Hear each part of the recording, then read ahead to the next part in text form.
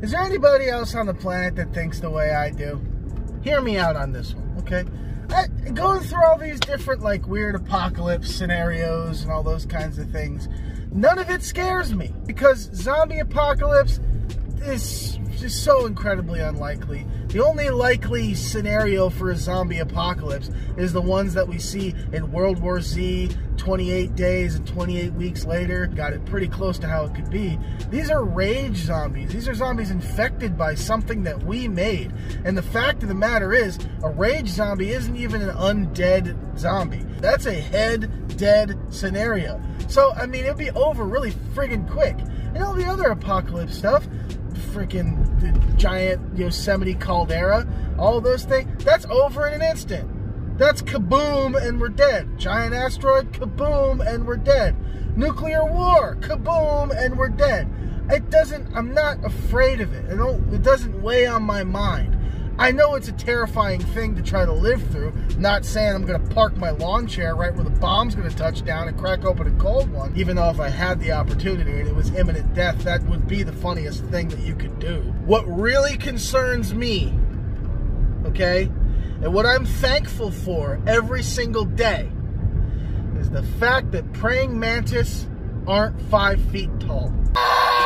Let's talk about this for a minute. Could you imagine a world not like Starship Troopers. None of that shit, okay? Not talking about bugs that are the size of buses and cows and horse. No. I'm talking about man-sized insects with superhuman strength. How many of you want to throw your phone across the room right now at the sheer thought of insects that were the same size as you, okay? Not bigger or anything like really weird, just the same size, okay? Do you imagine there are five foot tall praying mantis floating around right now?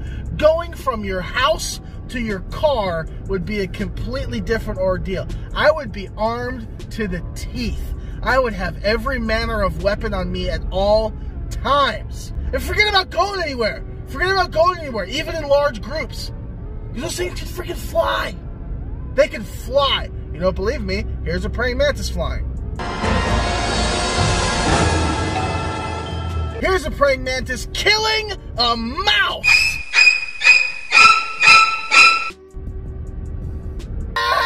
Look at the size difference. Look at it. Look at praying mantis don't care. Hell, I can posit praying mantis wouldn't even have to be five or six feet tall. Praying mantis have to be foot, foot and a half, maybe a little bit bigger than that. They'd run this country. They'd run, they'd kill you. They would kill you. They would just pick you up by the ankle and slam you around Hulk and Loki style until you stop moving, and they would eat you brain first. That's what I'm afraid of. That's what keeps me up at night. I don't worry about zombies. I worry about giant bugs.